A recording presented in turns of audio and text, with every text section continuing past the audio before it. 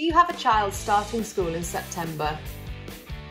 Want to help them become more independent when putting their coat on? Simply place their coat upside down in front of them. Your child then needs to put their arms in. This can be the tricky part. A quick flick over and now my four-year-old is ready for school.